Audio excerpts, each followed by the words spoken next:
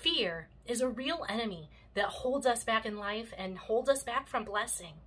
That is why fear not is one of the most commonly repeated themes in the Bible.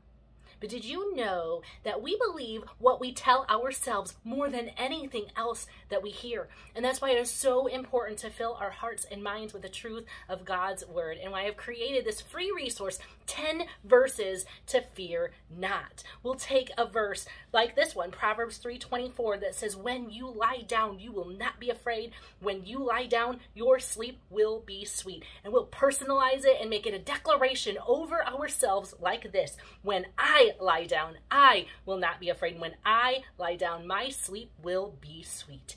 Click the link to read more and to get your free resource 10 verses to fear not.